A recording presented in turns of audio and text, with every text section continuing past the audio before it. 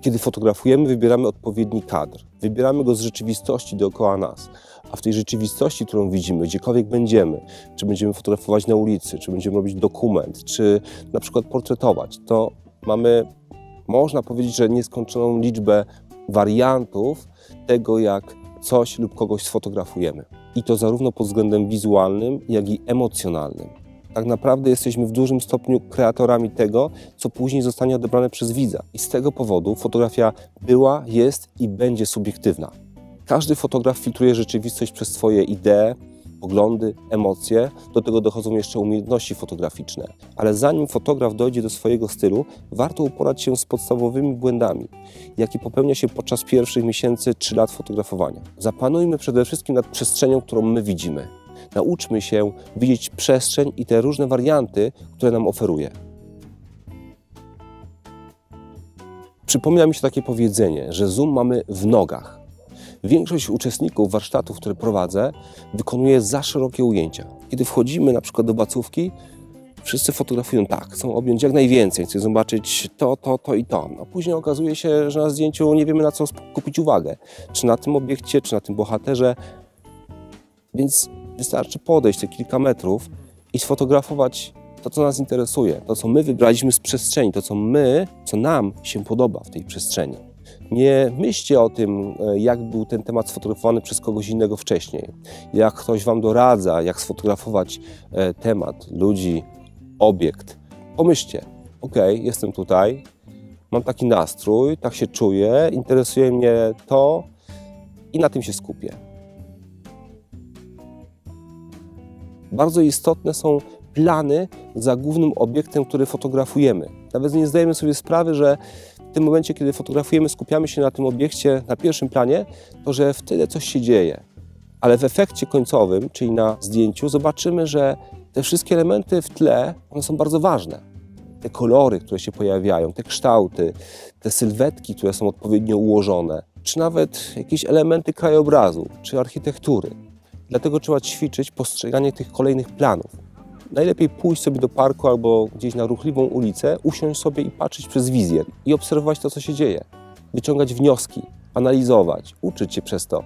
I z biegiem czasu zobaczycie, że zaczynacie zwracać uwagę na tak zwane przeszkadzacze, czyli na przykład jakieś kosze na śmieci, czy słupy na ulicy, które nam przeszkadzają, czy gdzieś we wnętrzach graty, kolory, które przeszkadzają e, w odbiorze naszej fotografii. I to wszystko zaczniecie korygować, nawet robiąc krok w prawo, krok w lewo i automatycznie jakiś kosz na śmieci gdzieś zniknie za jakąś sylwetką, poczekacie chwilę i ktoś z jaskrawą kurtką zniknie z kadru i tak dalej, i tak dalej. Na przykład podczas warsztatu z fotoreportażu w Bacówce zawsze mówię uczestnikom, aby nie przestawiali obiektów. Jeśli widzą gdzieś biały kubek, który przeszkadza w kadrze, niech tak fotografują, aby tego kubka na zdjęciu nie było. Wystarczyło się właśnie przemieścić e, i kubek znikał na przykład za juhasem. Kiedy prowadzę warsztaty z fotografii ulicznej, przychodzimy zawsze koło Pałacu Kultury i Nauki i proszę uczestników, aby wykonali takie zdjęcia, które nie będą oczywiste, które będą jak najbardziej wykreowane przez nich, wyszukane, niebanalne kadry. Ja osobiście najczęściej poszukuję harmonii w fotografowanej przestrzeni.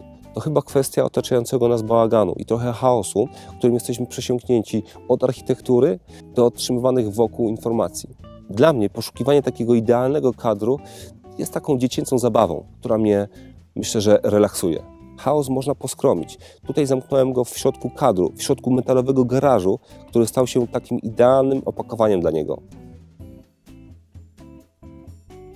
Uwielbiam układanie linii w kadrze. To także dobre ćwiczenie. Obserwujcie otoczenie, obserwujcie przestrzeń i jeśli znajdziecie ciekawy wzór, linię, to spróbujcie połączyć je z czymś innym. Tutaj dodatkowo połączyłem kolory. Budynki umieściłem pomiędzy kolumnami Pałacu Kultury. Mogę dać trochę przestrzeni pomiędzy kolumnami a budynkami, albo je całkowicie zamknąć. Obserwowałem intensywnie grupę ludzi i czekałem na moment, kiedy sylwetki nie nachodziły na siebie. Niby detale, ale to właśnie te detale wykonują dużą robotę. Ten portret wykonałem w Libanie. To piwnica wynajęta uchodźcom. Dywan wychodzący z prawego dolnego rogu, kabel wiszący równolegle do krawędzi kadru, u góry linie, po lewej linie i niesamowita postać na łóżku. Kiedy w mieszkaniu nie macie przestrzeni, aby wykonać na przykład portret, e, to wystarczy samemu stworzyć taką przestrzeń. Jak możemy ją stworzyć? Po prostu odsparować naszego bohatera od tej przestrzeni, która nam przeszkadza. Wystarczy kupić materiał, czarny materiał 2 na 2 metry, albo go powiesić na czymś, albo niech ktoś Wam go przytrzyma i ustawić naszego bohatera przed y, oknem, na przykład 2-3 metry e, przed y, oknem balkonu, gdzie tego światła jest dużo więcej, ustawić się z obiektywem e, portretowym, najlepiej 85 na przykład, podpiętką do pełnej klatki, czy 50 w aparatach z mniejszą matrycą. Nawet możecie wyjść na balkon, aby mieć większą przestrzeń między Wami a bohaterem zdjęcia.